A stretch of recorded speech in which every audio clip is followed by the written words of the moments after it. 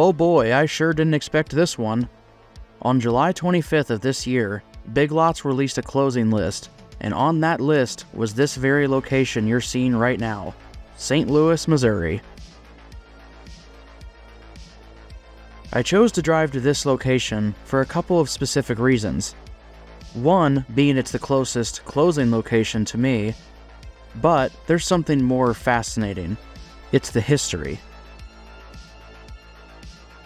This used to be a Venture department store, which, for those of you who don't know, Venture operated from 1968 until 1998 when the majority of their buildings were absorbed into other chains, primarily Kmart, for the new Big K stores.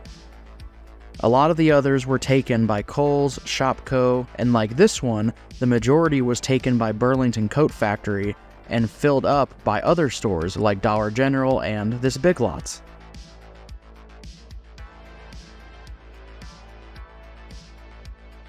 We had visited this location just five days after the announcement of its closure, and you can see a decent amount of product has already been picked through, surprisingly.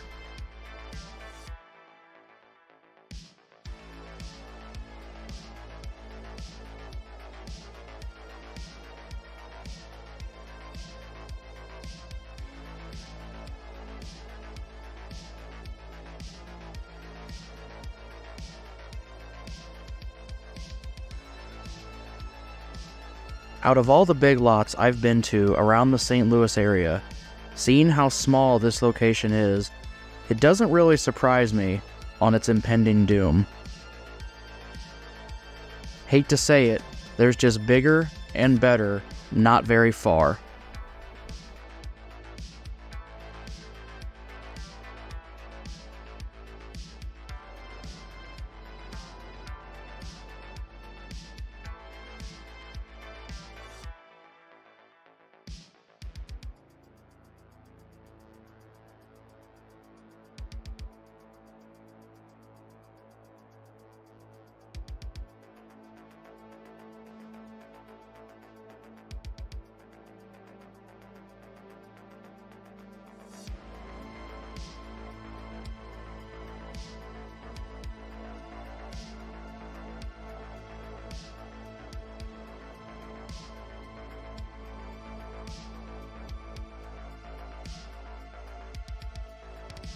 Because obviously you got big lots over there, but you come all the way over here, the Burlington took the majority of it, but you can see the Venture with the original entrance front and center. But yeah, I thought it was pretty cool to check that out and a fun little fact that you may, may miss.